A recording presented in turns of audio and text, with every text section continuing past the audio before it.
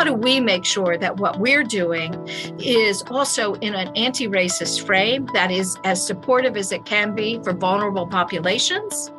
How do we amplify their voices so that they're speaking on behalf of themselves? It's just, there's a whole world of work. We need everybody to step into this space and engage with the commission, engage with ANA, and most importantly, engage with each other, learn from each other, and talk with each other.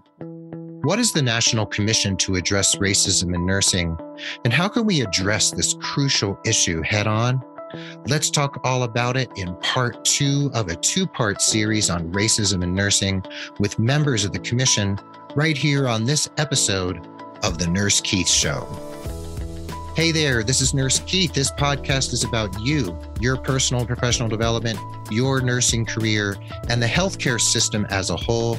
And I'm here to share education, ideas, frequent diatribes, and interviews with some of the most inspiring people out there in the worlds of healthcare, nursing, medicine, entrepreneurship, and beyond. I love having you along for the ride, and I thank you from the bottom of my nurse podcaster's heart for being part of the growing Nurse Keith Nation. If you'd like to help other people find the show, I'd love it if you'd leave a rating and review on Apple Podcasts or Spotify or on any podcast app you use and consider becoming a patron over at patreon.com forward slash nurse Keith. I really appreciate my patrons and anyone who can leave a rating and review. And I especially appreciate you tuning in to the show. Please head over to nursekeith.com to find the show notes for this episode. And we are here with three members of the National Commission to Address Racism in Nursing. We're here with Cheryl Peterson, Ruth Francis, and Daniela Vargas. And Cheryl, we're going to start with you. And even though this is part two of two, some people might not have heard part one yet. And I want to just ask you to give us this bird's eye, broad stroke view of the commission, what it's about, why it's in existence, and just a little bit of, of your reflections on this commission's really important work. Yeah, thanks so much, Keith. It's really a pleasure to be here. So, the National Commission to Address Racism in Nursing actually grew out of a movement following the murder of George Floyd. And um, the American Nurses Association, along with our colleagues from the National Black Nurses Association, the National Association of Hispanic Nurses, and the National Coalition of Ethnic Minority Nurses Associations, came together and said, we need to look at this problem of racism within the profession. What does it look like? Does it exist? Uh, and and how does it show up in who we are as nursing professionals? So that is a really critical piece of work that we have done for about two years now, and will continue on in the next two years. And it also led the American Nurses Association to engage in looking at its own past, its own behaviors, and how we have contributed to racism within the profession. So, this is critical work. It is work that we are doing to support our colleagues of color, as well as to um, support uh, allies who are interested stepping up, stepping in, and being import, a part of a really important conversation. Mm, thank you, Cheryl. And you're the vice president for nursing programs at the ANA, is that right? Correct. Yeah. So so you're involved at the ANA as a staff member. So the reckoning that's happening within the ANA is something that you have your finger on the pulse of because it's happening in the organization where you work every day. Yeah, absolutely. And it's really an important piece of work. What we found as we started with the commission is the reality was that ANA's credibility in this space was really challenged mm-hmm. by us having not addressed who we were as a professional association. And so it became necessary for us to do this work uh, in hand in hand along with the commission that we looked at past behavior we looked at um, uh, what we needed to communicate to nurses of color to express our um, remorse mm-hmm. and ask for forgiveness. Mm. and to hopefully lead the profession and ourselves as an association into a space of healing and growth. So that's really where we were driving when we decided to engage in racial reckoning. Wow. So this is a big, big issue, and it's been on everyone's radar in a really crucial I guess you could say, visceral way, especially the last couple of years since George Floyd. And of course, this is an ongoing issue that we have to keep addressing over and over and over again in our country. And we're focused on the US, of course, but we know this goes beyond our borders. But this is where we live. This is where we're citizens and we're addressing this. And the ANA is an important organization, the Black Nurses Association, the Hispanic nurses, we have Native American nurses, we have we have a very diverse nursing workforce and there's there's a lot going on and there's a lot people have to say. And speaking of people having things to say ruth francis you're the senior policy advisor in the nursing practice and work environment department at the ana and would you like to say a little bit just to introduce this survey on racism in nursing that has been conducted and your reflections on what you all have seen so far, kind of going through the data that you've collected. Sure. Thanks, Keith. Yes. Um, so the um, we wanted to know what the extent of racism was in nursing and really did not have the data to uh, to support that. And so we started with the um, listening sessions that were conducted between um, February and April of 2021, where we had five sessions where we gave nurses the opportunity to just put their voice on the table. And um, you know, nurses were feeling that they were not being heard, that there were advantages that white nurses were being given above nurses of color especially related to careers. Um, clinical skills were being questioned, disrespect from their colleagues and, um, and other patients. And, you know, for one nurse, being a part of this listening session was the first time that she had ever been able to share her story. And she had been a nurse for over 30 years. So this really was a great chance for us to get some of that anecdotal data initially, but then to conduct the survey to really get some hard facts from nurses about what was going on in their communities. Um, so we conducted the survey in October of 2021 and wanted to understand what those experiences nurses were, were having, um, especially the nurses that were um, feeling marginalized. We had about just under 6,000 nurses that responded to our survey, 5,600, and um, across the, the nation, definitely um, statistically significant, but you know, geographically diverse from varied backgrounds in varied clinical areas. So we were able to get a very broad base um, of what was going on from nurses.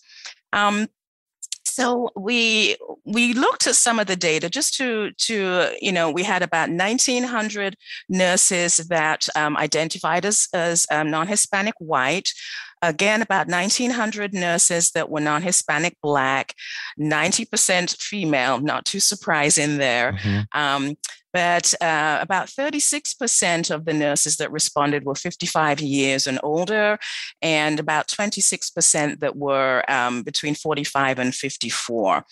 So, you know, we asked nurses straight out do you think that um, there is racism? Have you experienced racism? Have you witnessed racism? And um, 49% nurses um, responded that there was a lot of racism as far as they were concerned. 45% indicated that there was some racism in the nursing profession. Um, so uh, let's see, a 63% total um, said that they had personally experienced racism. Breaking that down by um, by races, 92% Black, 90, 75% Hispanic, 73% Asian, 28% white nurses. And so, um, you know, the it was definitely an indication that racism existed. Um, and when asked if they had tried to challenge the treatment of racism in their workplace, 65% of them indicated that um, that even though they had tried to challenge it, that um, no change had actually occurred.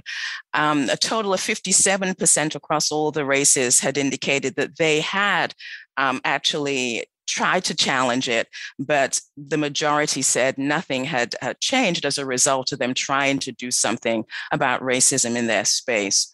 Um, again, we, you know, this was uh, both from the qualitative um, hard facts, but then also from the quantitative perspective, we really um, captured some quotes that nurses um, gave us about their experiences. And I want to just kind of tell you a little bit about, about those.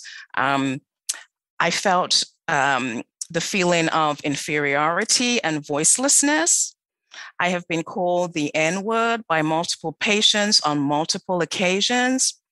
A lot of times, nurses of color with the same credentials as white counterparts looked for recognition or for promotions. I started to question my self worth and abilities to do jobs below my skill set.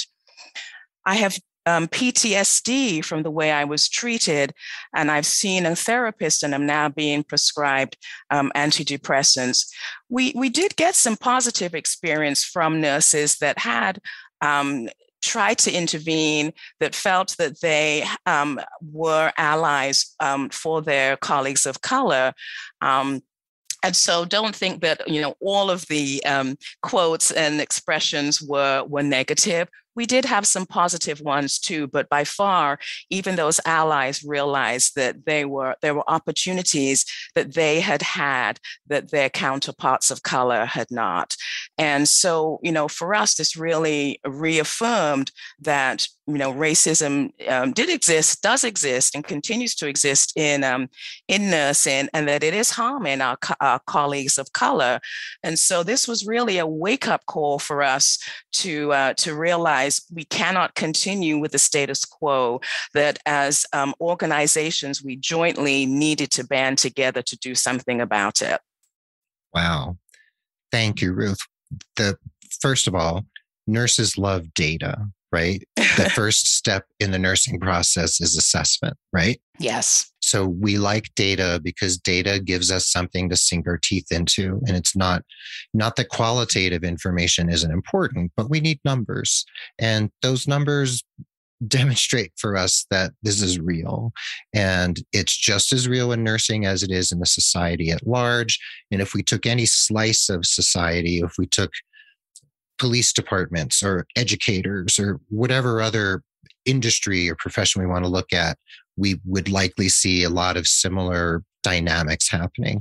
But we're all nurses and we're looking at nursing, and nursing is the, the backbone and lifeblood, or whatever metaphor you want to use, of healthcare.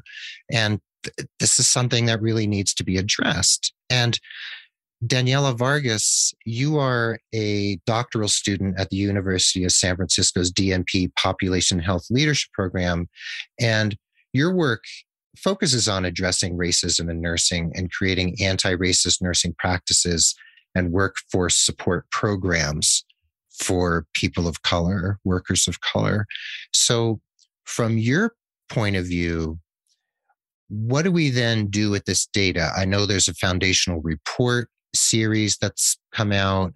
You know, what do we what do we then do in terms of taking action? And it sounds like in your doctoral work, you're looking at I, what I gather from what I'm reading here is that you're looking at solutions and things we can actually do on the ground. So how do you how do you put all this together for yourself and then bring it out into the world?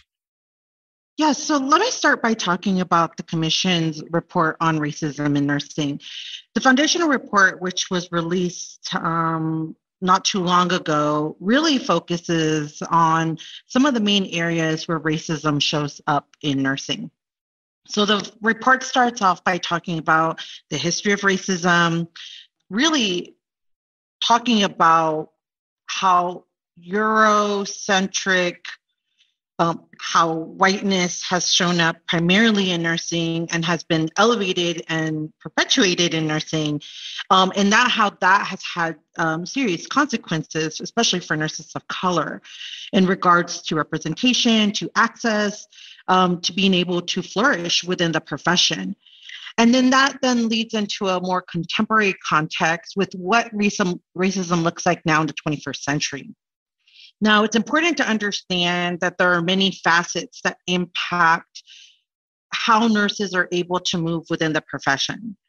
Power, privilege, prejudice, how nurses are able to access different levels of support systems within the nursing profession and then also especially within institutions for example whether it's healthcare institutions whether it's in educational spaces whether it's in being able to access grants all of these things are impacted primarily because of the racism that has been per- perpetuated over time with nurses and so, as a result, um, what the commission did is that we brought together experts across from all over the country um, in the different spaces that we were primarily focusing on, which was education, policy, practice, and research. And so, these um, policy groups, uh, work groups, were created um, not only to lead um, some initial work on the foundational report, but it was also an opportunity to engage nurses of color across the country. And so, primarily, the people serving on these work groups are nurses of color. And so this it's important to understand this work in that context because many times this work has been done without nurses of color at the table. And for the first time in nursing history, we're actually having a voice not only in what needs to be said um, in regards to our history, but what our present situation is right now. And so the foundational report is um, outlines just again the his, it starts off with the history of racism in nursing then it goes into a contemporary context and then um, it goes into each one of the uh, specific groups education policy and practice and research and so this really works as a as a starting point for the nursing profession to again start to reckon and to understand the impacts that racism has had in nursing. And now, what do we do from here, right? What, what's the next step? And so, our next step is that um, these groups need to come are going to come back together and they're going to work on now actions. What do we do with this information? Because i think where we wanted to start off with is to present the case and to say this is what's happening right now. What do we need to do to make things different and better for nurses? And so that's what this report is primarily for to understand the context of racism within nursing.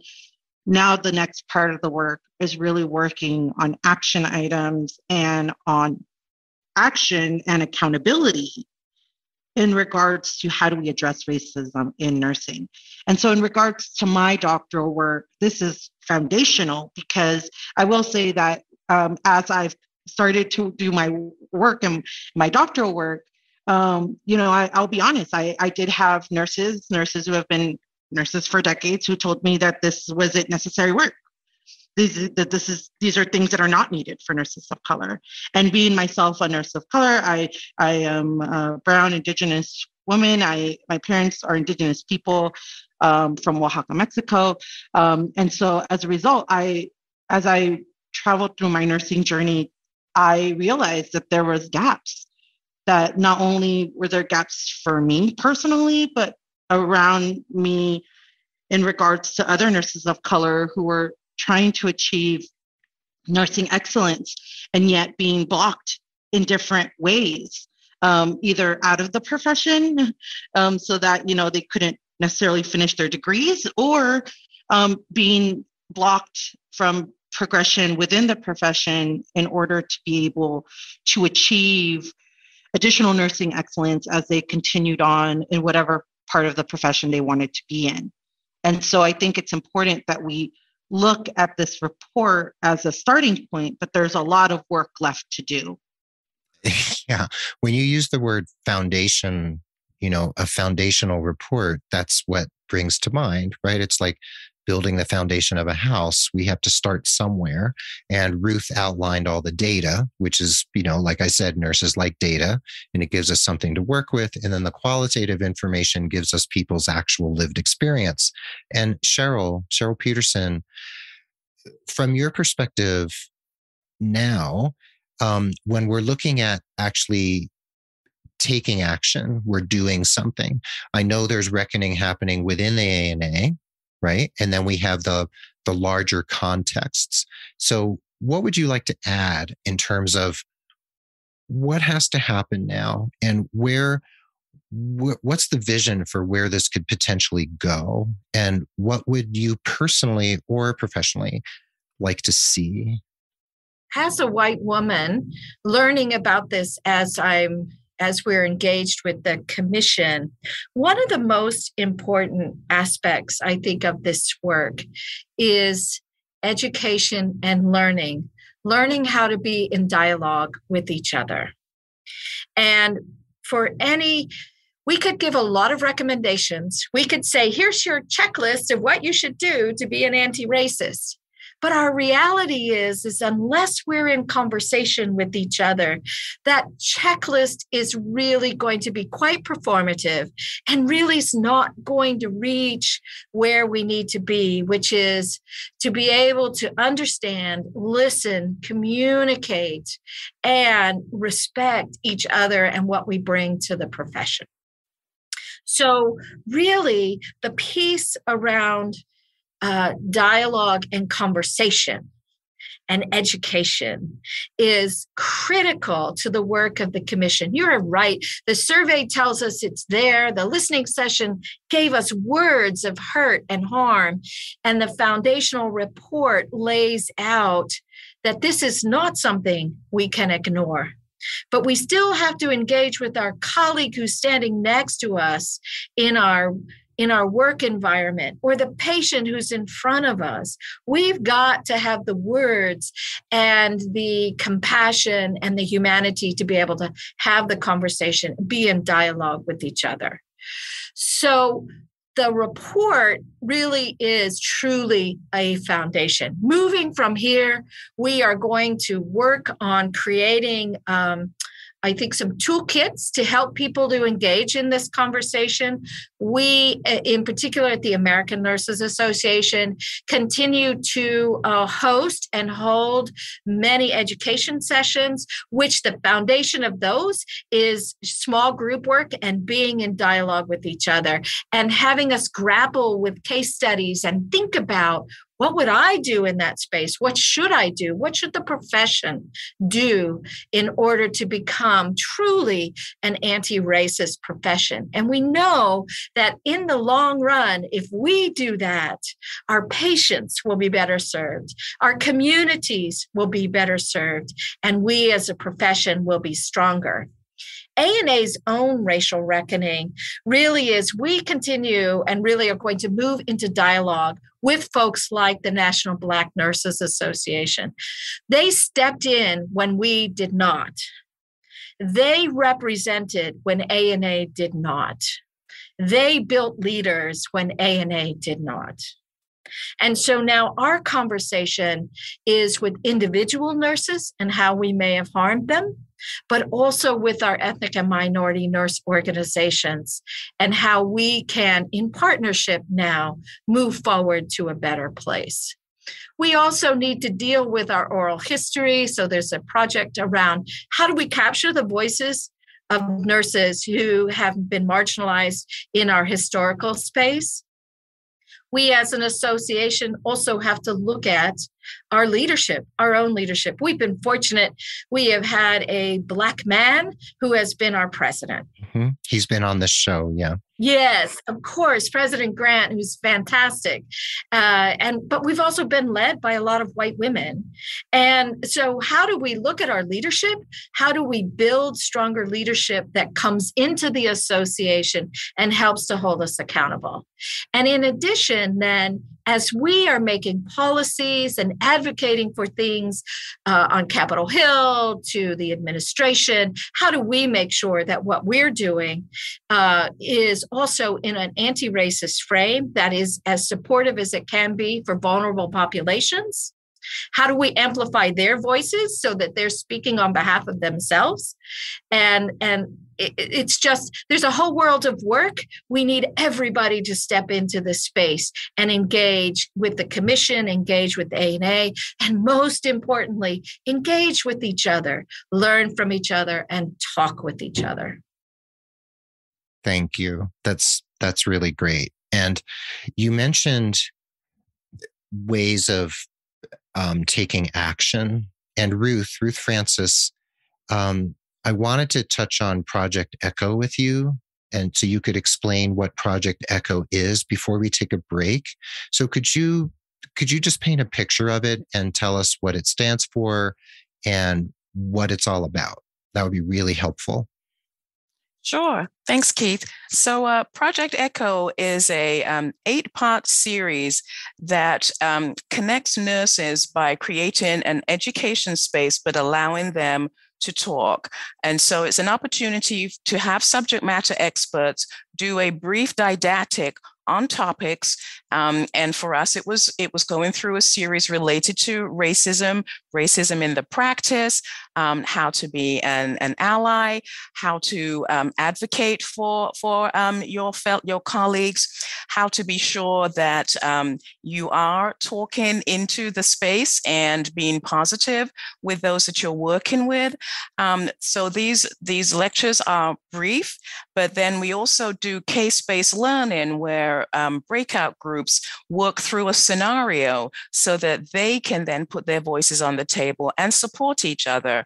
We we realized when we um, when we had the session on um, racism in academia that there were some professors that had never been able to to advocate for themselves in that education space and we know that that you know you um, talk to the wrong person or you say something that could be disruptive and that could be your tenure on the line. And so there's definitely consequences for um, for being an advocate but we wanted folks to realize that this is the first step where you can put your voice in the table and support each other so these different sessions give us the chance to not only provide learning and education but then to also work through a scenario so that that gives you the opportunity to be able to learn some words that you can then take back and use in your own um, environment where it's where it's needed.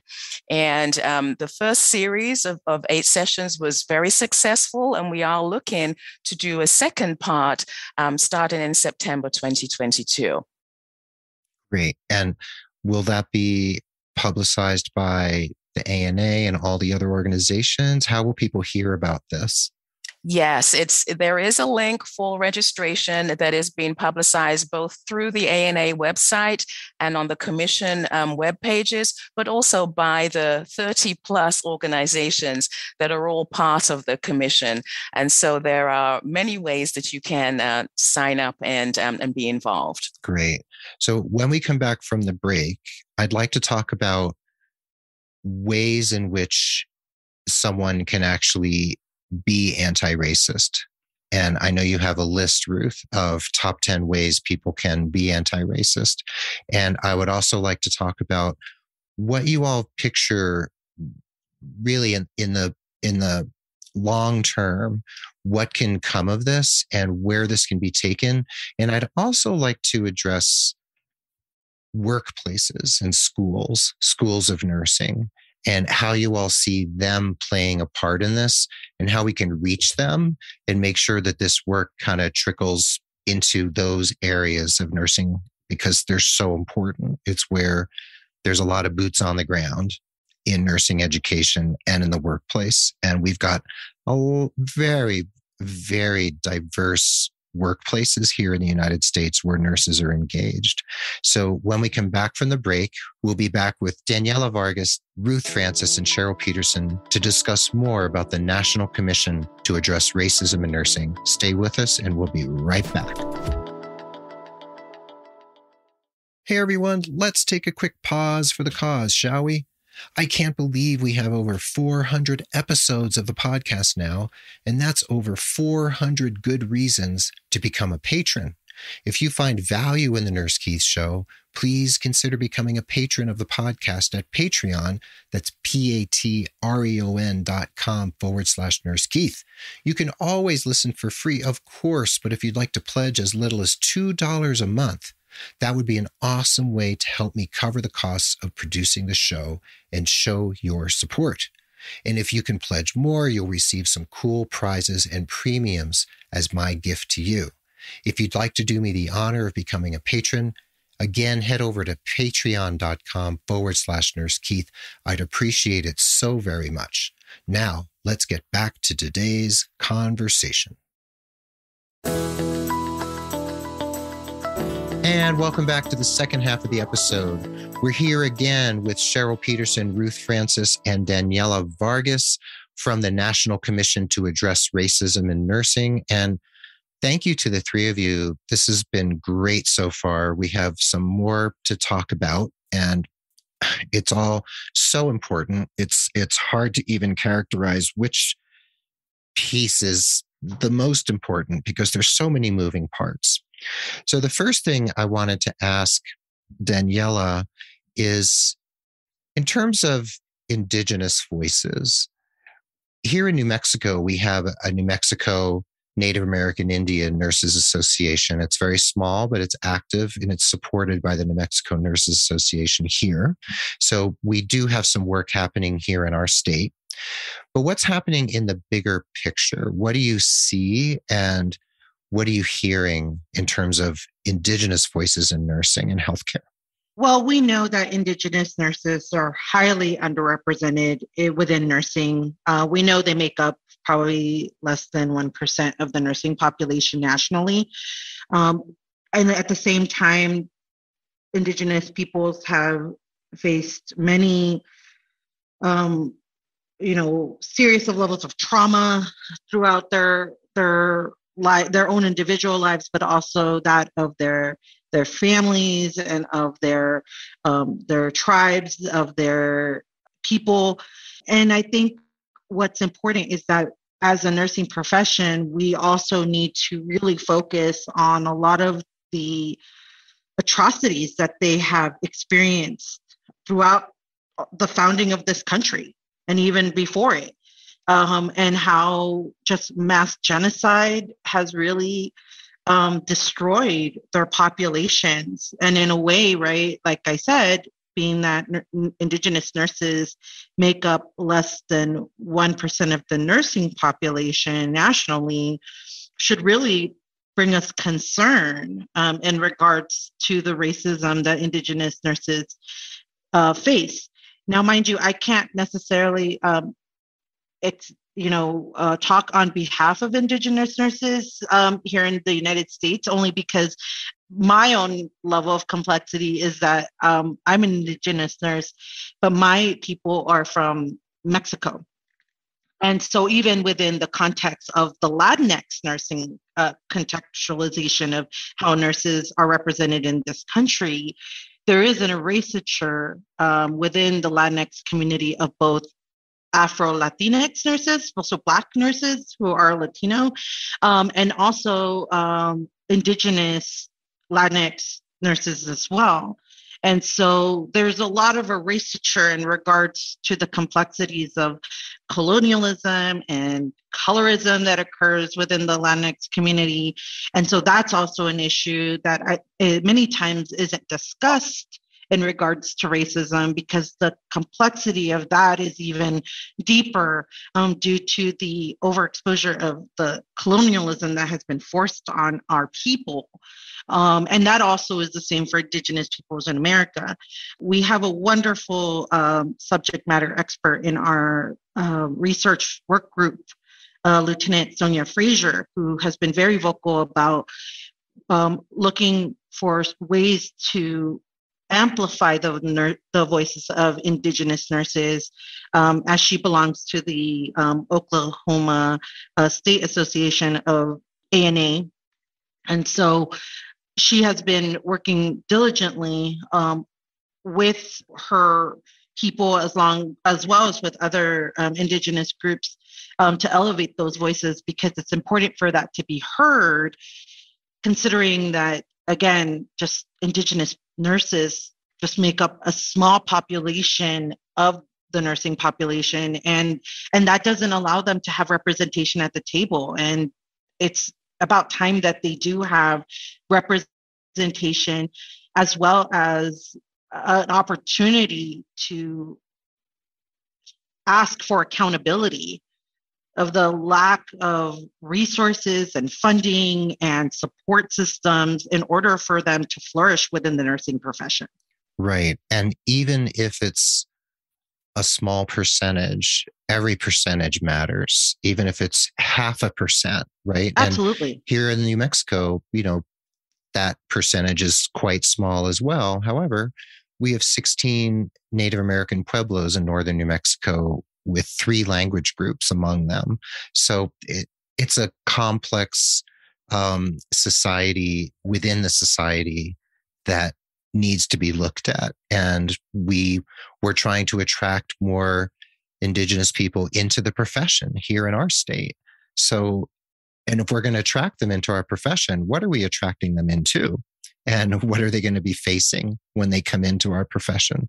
So these are all questions we need to be asking ourselves. And I wanted to to throw this one at at Cheryl, and then I have an important question for Ruth. Cheryl, I just mentioned, you know, say we're bringing in indigenous more indigenous people into the nursing profession and then they're going through nursing school then they obviously have to go into workplaces whether it's on a reservation or it's off a reservation in the city in the suburbs rural area doesn't really matter.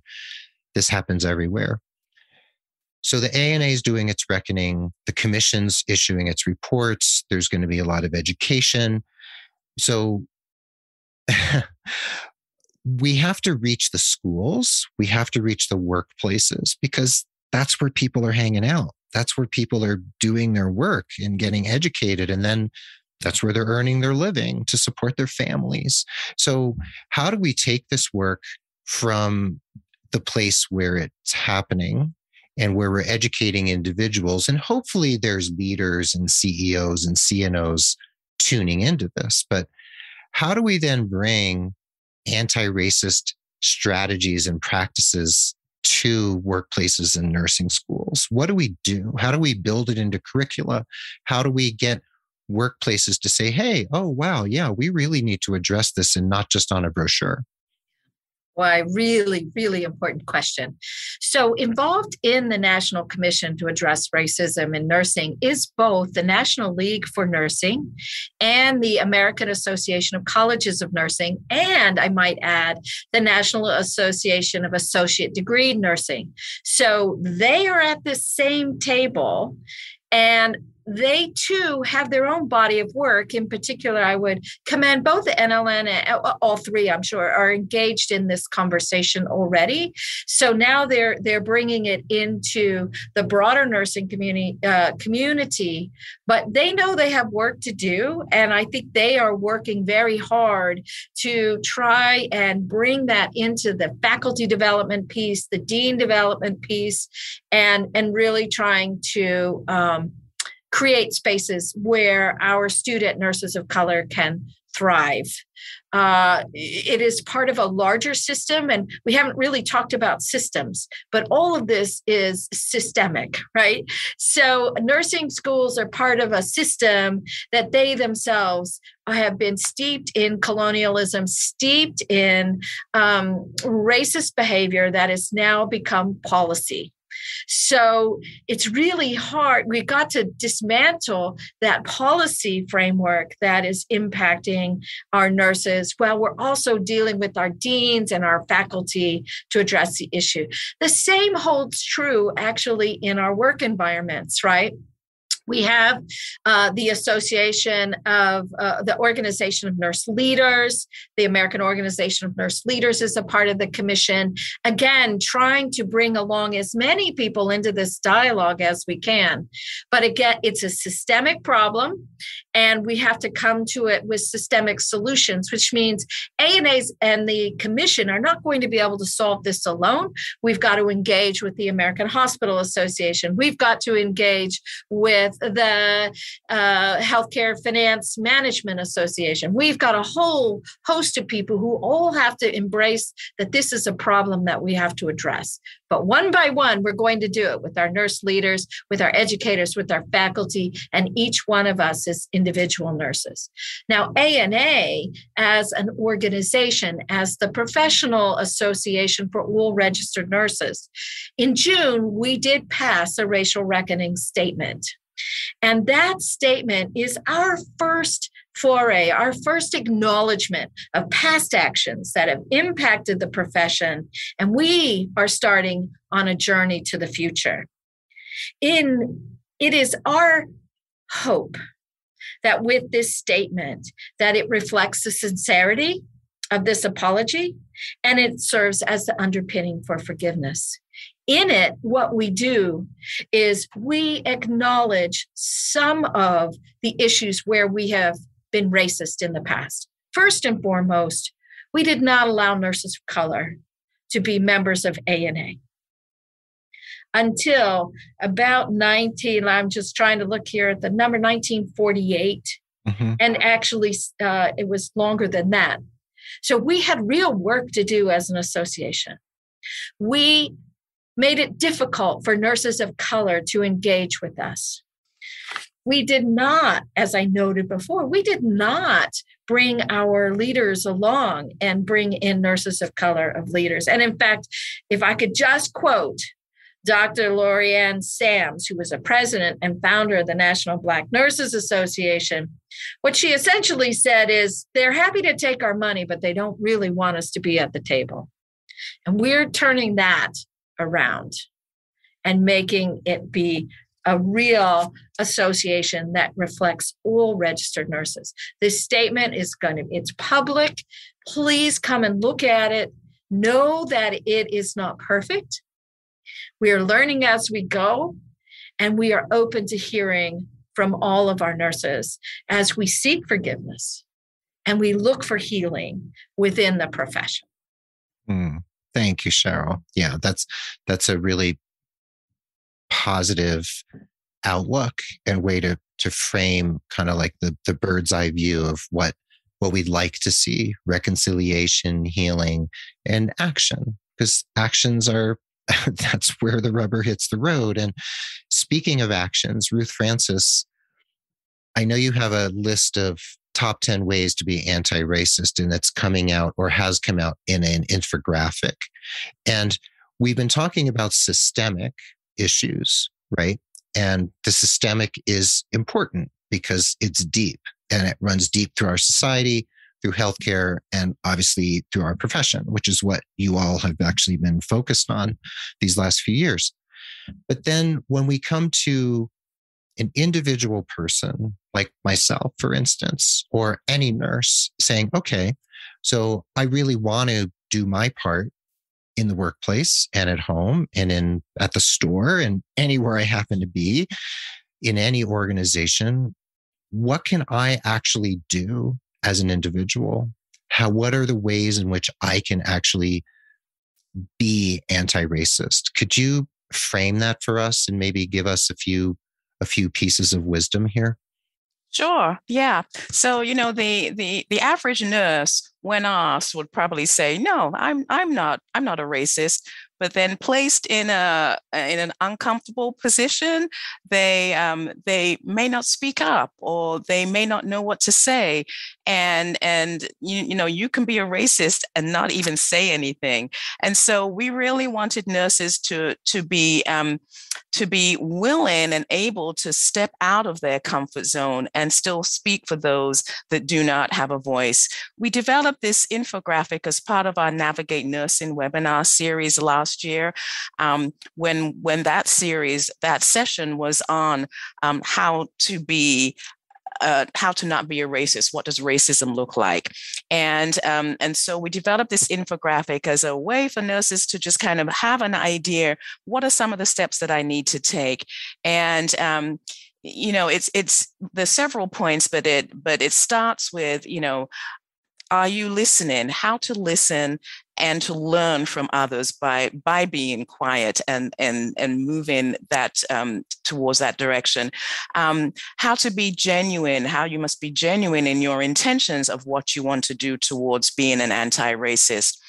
Um, not to label folks, um, see people as people and, and enjoy and be a part of that process.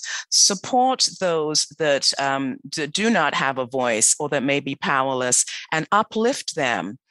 Be authentic. Be genuine in what you um, you want to do.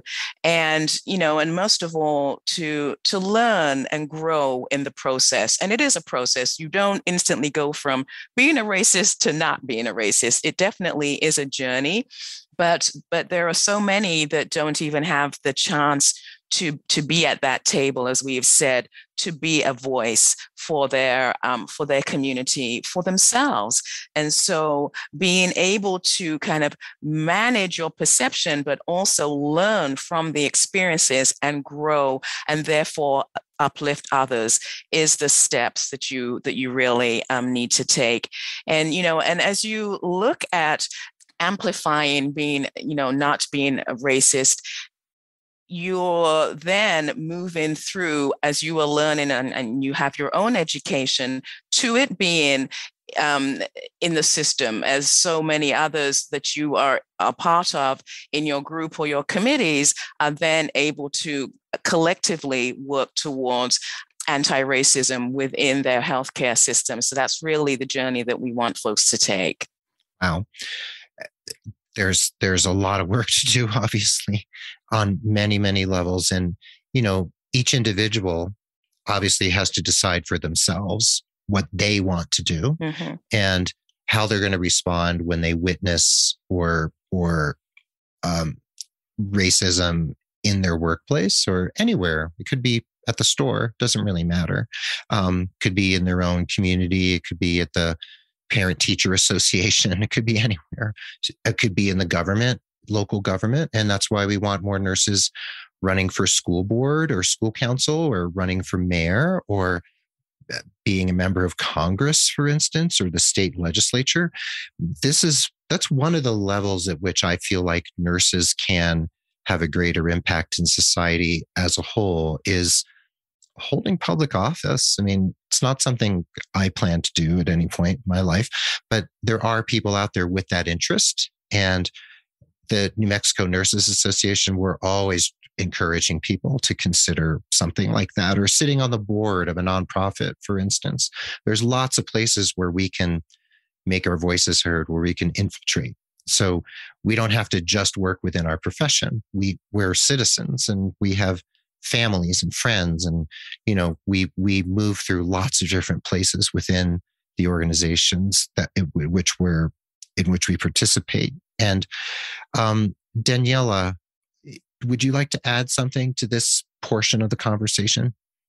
I did. I, I just wanted to add you know that it not only just being in leadership roles right in the government or in other organizations. But i think even even just right down to being that nursing student who sees something while you're in nursing school and saying you know what? This doesn't feel right and rallying those colleagues around you that can also say this isn't right um, or being a faculty member and talking to your fellow colleagues and making them aware of some of these policies or procedures, um, things that have been normalized and have created harm to nurses of color, even just down at the very bottom of right of hmm. what the system is um, or at the workplace right and saying you know someone's acting racist with a colleague and being an ally and speaking up all of those things have profound impact on the profession because one nurse that experiences racism i mean this is not just an isolated issue this is happening all over our profession in the many spheres that we're in and unless we collectively say we are not going to tolerate this in the profession anymore, and there will be accountability. And for those who do not want to um, look at things in an anti-racist praxis, then there will be accountability in the profession. This is no longer going to be tolerated.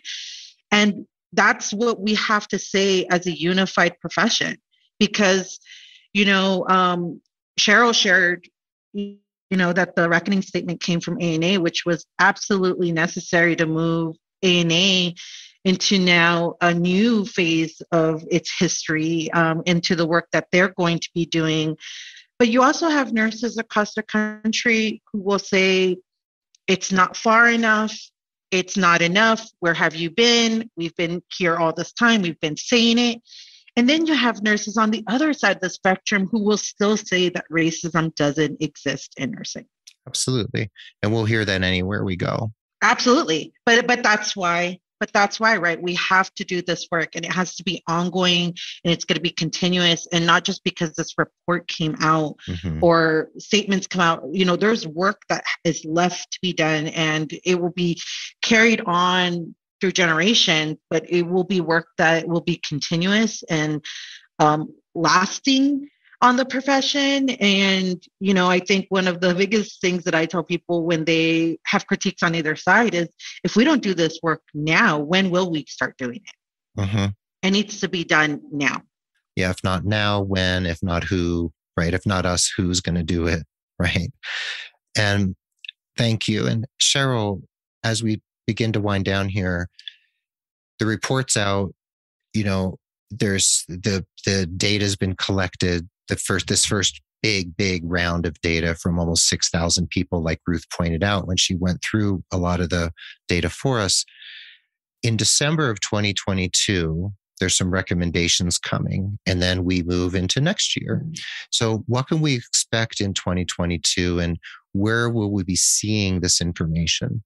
Yeah, thank you so much. And may I just add, one of the most important things that the commission did was we named it. We said we're talking about racism. Mm-hmm. We were really clear that we were talking about racism. And we've heard from others that said, well, what about all the other isms that are out there, all the other ways in which we discriminate against people? Mm-hmm yes, we know they're out there, but we needed to tackle racism in order to be the most ethical profession that we hear year after year after year from that Gallup survey we, in order to truly live into that, we needed to tackle racism. So, what can you expect moving forward? The commission continues. It's been in effect for two years. We are going to probably shake it up a little bit, put some new membership on the commission starting in 2023. Uh, I believe that the focus of that group is going to shift a little bit, right? We've done that foundational work. But now what we really have to tackle is how do we bring more people into the movement? How do we engage more in our dialogue and our conversation? How do we educate more so that they are able to engage with colleagues and systemically? And um, also, then begin to build out some of the competencies right? What's and you know we're nurses we like competencies too. We like data we like competencies but what are the competencies? What are the things that nurses need to have in order to be able to be anti-racist? What's the skill set that they need? How do we build that skill set? Um, how do we continue to hold A and the rest of the profession accountable? What does that look like? Hmm. Uh, and how do we hold employers and education accountable? What does that look like?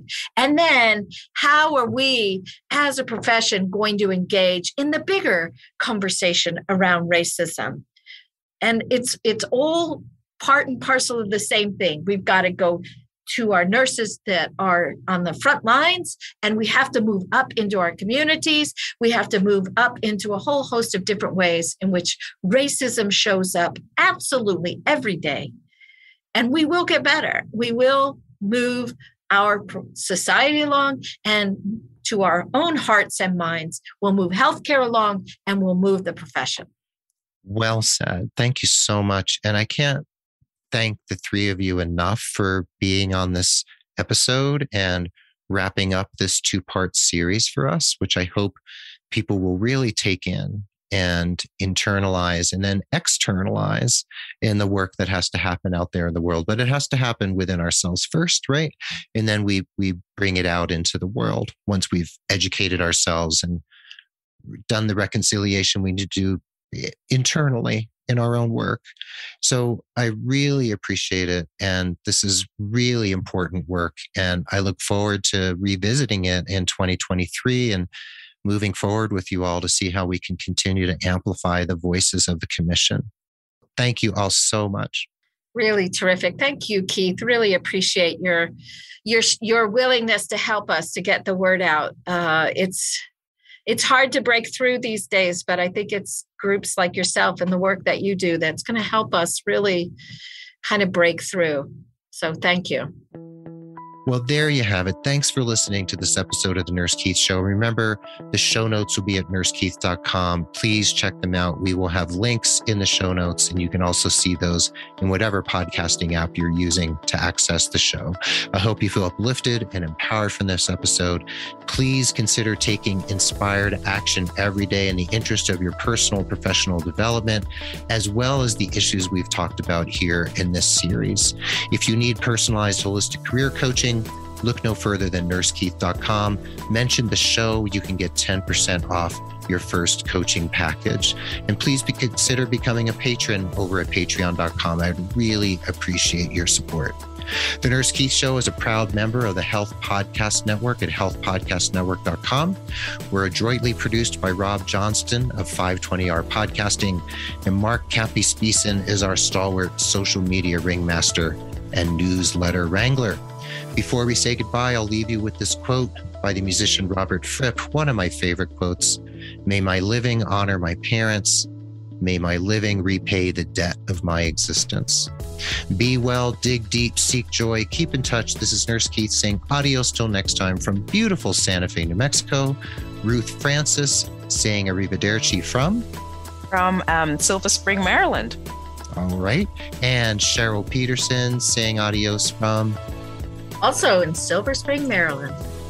And last but not least, Daniela Vargas bidding us adieu from where? San Francisco, California. All right. Thank you to the three of you. Thank you to the National Commission to Address Racism in Nursing for doing this important work. And we will catch everyone on the proverbial flip side.